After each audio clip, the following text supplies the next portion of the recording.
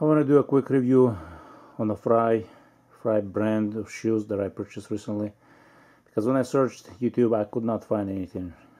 You know what I mean? The details or or anything. So I want to show you that these are two identical pairs. One is black one is brown but they have different uh, numbers. So the first one is I'm gonna see if I can zoom in so you guys can see it. So this is the first brand or the first uh, Jim Oxford. These are the black.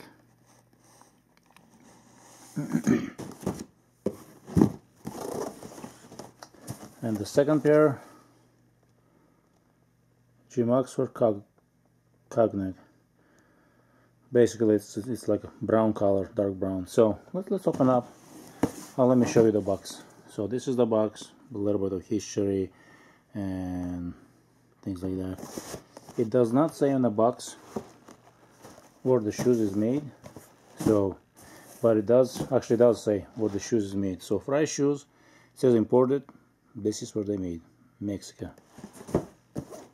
Same thing with the other pair right there that's where the shoes made. So let's open up and go from there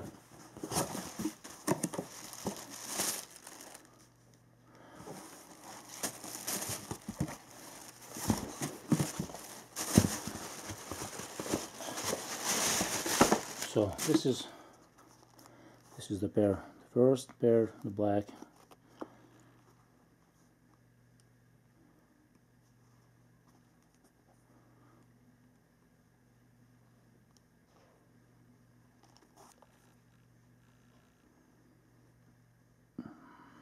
And this is the size 10 that you guys looking at.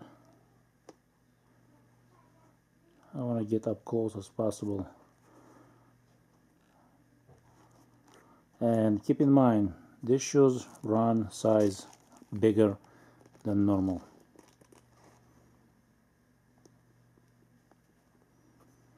So I wear usually size 10 and a half most of my shoes. 10 and a half is too big so I ended up returning it and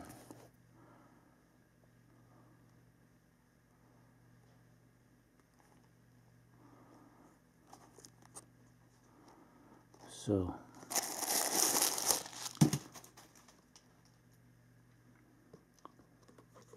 leather inside lining.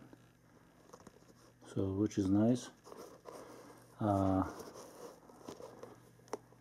so it says we're there made in Mexico. You guys can see it on the inside. Insole is not removable. Cannot remove it. So it's glued. Uh, the shoe itself is shoe itself is very comfortable right out of the box I was surprised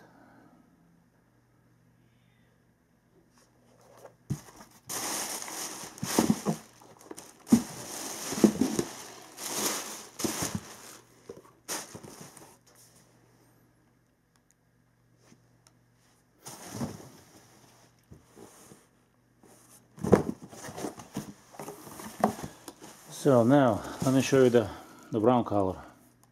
Same thing.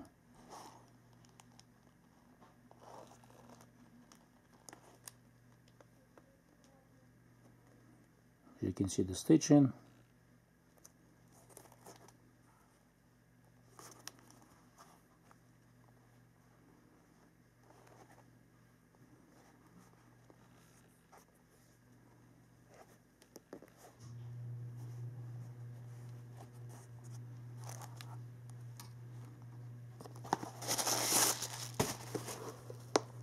Same thing, shoes are made in Mexico.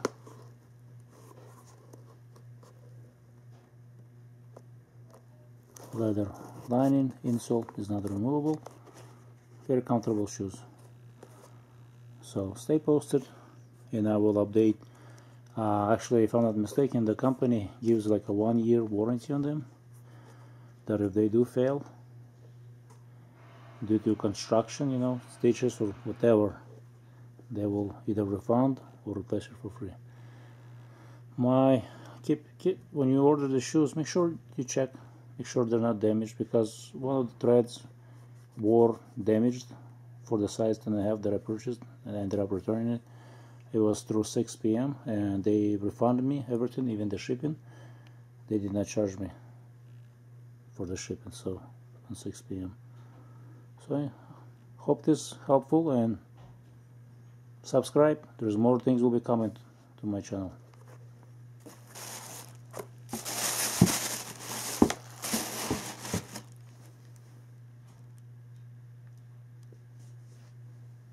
and don't forget to subscribe thank you